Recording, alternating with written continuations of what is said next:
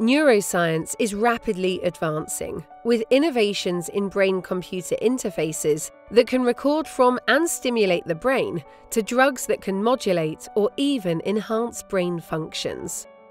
Scientists who study the brain are beginning to understand more and more about our thoughts, emotions, personality, and how we make decisions and perceive the world at a biological level.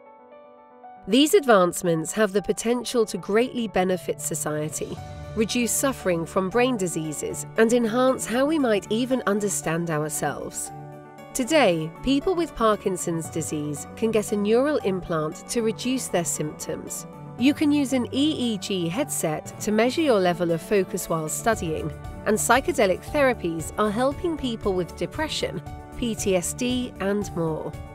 However, Similar to the concerns around artificial intelligence, people are beginning to ask questions about what may happen if brain technologies are used without carefully thinking through the possible consequences. Should companies be allowed to collect your brain data and sell it for profit?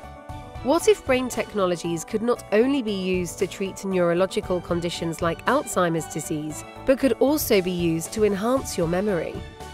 Scholars and researchers have been thinking about these possibilities and concerns for a long time. In fact, it's an entire field of study called neuroethics. Neuroethics considers the ethical, legal, and societal consequences of evolving brain science and technologies. Neuroethics can be used as a problem solving tool to ensure the development of responsible neurotechnology. The brain is unlike any other organ. It controls our behaviour, cognitive function, emotions, and our very sense of self. Because of these unique attributes of the brain, neuroethics explores a handful of key areas. Here are seven big ones. Equity and access. How do we promote equitable access to brain-based therapeutics and technology for everyone? Privacy. Who should have the right to our personal brain data and how should it be used? Capacity and consent. How can we ensure people are able to understand and make decisions about how to choose to interact with brain technologies? Agency and autonomy. How will brain technologies affect our sense of self and our free will? Dual or unintended use.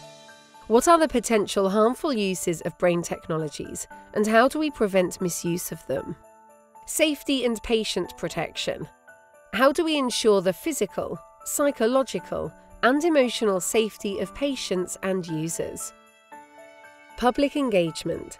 How do we responsibly raise awareness and engage in dialogue with the public about neuroethics issues? Some might say it's the job of the government to step in and make sure technology is used in a way that protects patients and the public. However, brain technology is moving faster than regulation.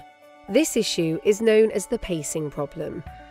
Knowing this, scientists, doctors, and business leaders are looking for practical guidance on how to develop ethical neurotechnology. BrainMind is working with leading organisations to raise awareness and co create the best tools and practices for responsible innovation in neurotechnology. Learn more about BrainMind's neuroethics initiative at brainmind.org.